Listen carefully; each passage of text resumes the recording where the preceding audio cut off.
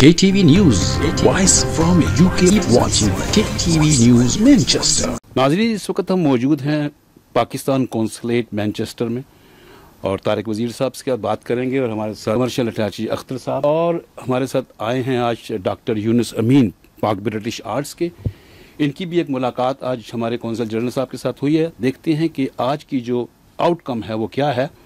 Political participation किसी भी महजब माशरे की बुनियादी ज़रूरत है, बुनियादी राइट है।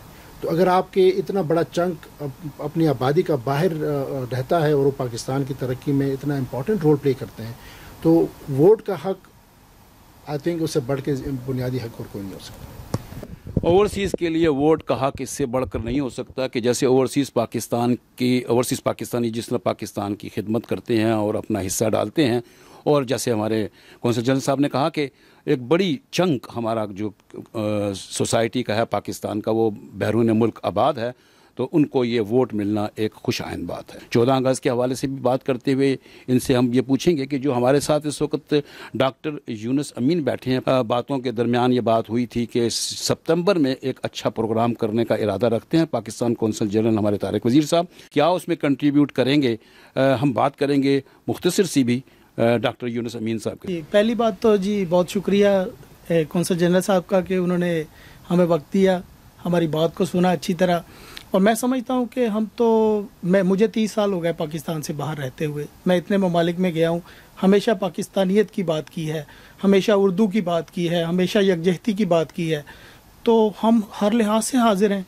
पाक ब्रिटिश आर्ट्स यहाँ से शुरू हुई थी, मानचेस्टर से। देखते देखते अल्लाह की ज़ात पाक ने करम किया। और हम प्रैक्टिकल लोग हैं। प्रैक्टिकली हमने कुछ करके दिखाया है। दुनिया मानती है अल्हम्दुलिल्लाह।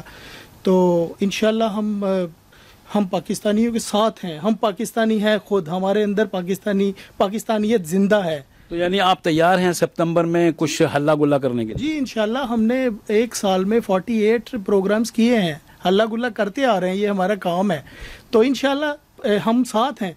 और हम चाहते हैं जहाँ भी पाकिस्तान का नाम है इज़्ज़त के साथ आए रिस्पेक्ट हो, पाकिस्तान ऊपर वाली लाइन में नज़र आए हमें, जहाँ भी हो। और इनशाला हम इसके लिए हर काम करने को तैयार हैं। पाकिस्तान की बेहतरी के लिए पॉजिटिव काम लीगल काम, हर काम करेंगे इनशाला सितंबर में खुदा करे कि ये थर्ड वेव ना आए और हम अपनी लाइफ बैक ऑन ट्रैक हो और फिर हम मिलजुल कर बैठें।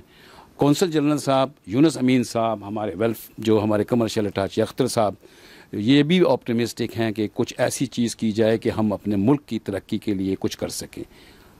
आगे फिर यही बात कि यार ज़िंदा, सोबत बाकी। पाकिस्तान के लिए सोचिए। पाकिस्तान हमारा वतन है। इसमें कोई शक नहीं कि हम वतन से दूर कई सालों से रह रहे हैं, लेकिन खून में अब भी उसकी मोहब्बत है। Pakistan Zindabad. KTV News, voice from UK only Web. Subscribe on YouTube and keep watching KTV.